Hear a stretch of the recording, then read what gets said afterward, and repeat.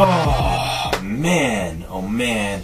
It's very rare that I go on a rant, but there's been something that has been driving me absolutely crazy, and that's the use of the word hype and hypebeast.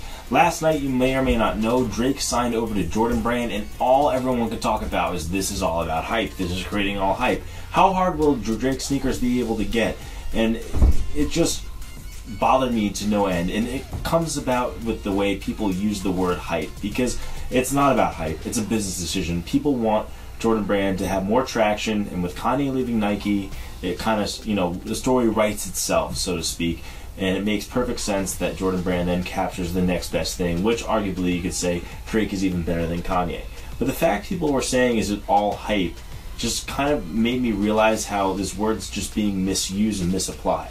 So hype is perfectly natural. There's always going to be hype around anticipated releases, and typically the word hype beasting would just mean getting all excited about this hype. And if you've never hype beasted over a sneaker, then I can't really identify with that very much because there are sneakers that I get very excited about. And giving into the hype on a sneaker that you really, really enjoy, there's nothing wrong with that. But instead, a lot of people in the community have turned hype into a bad thing something you should be scolded for, something you should be ashamed of. How can you like that hyped up release? Well, hey guys, it's hyped up for a reason, okay? The sneakers that are the most desirable tend to have the most hype surrounding them.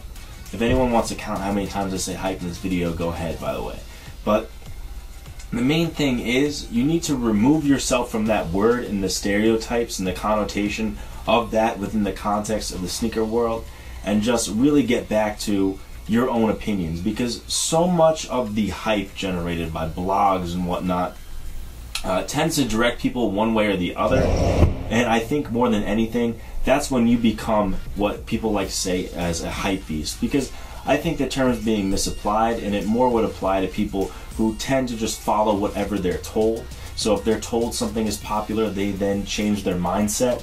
Because, you know, another thing that was bothering me along the same lines was people were asking my opinion as to whether or not they should purchase something or purchase a sneaker. And and what I think is cool or, or what I think is popular is my own conception. You guys sitting watching this video define what is cool for yourself.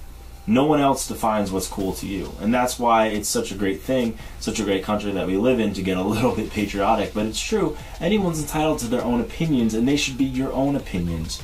Remove yourself from the hype and make your own decisions. You apply the hype to the sneaker yourself, and it's perfectly alright if you go ahead and you hype beast over a sneaker because I think to a certain extent, anyone that's been collecting sneakers or anyone that's a fan of sneakers has hype beasted over something. So this is like a rant. It just was bothering me today. I know there's a lot of cool news floating around, flying around, and Drake signing to Jordan Brand definitely was something that created a lot of buzz and just made me realize how misapplied this word has been used. So Way down below in the comments, let me know what you guys are thinking. Stay tuned. We're going to end with a feature comment from yesterday's video. And the feature comment goes to Axel Lopez. And very quickly, so Concept uses the same exact interface as uh, Kith, so it both uses Shopify, and the checkout process is exactly the same. So that video on how to check out quickly will apply to Concepts as well.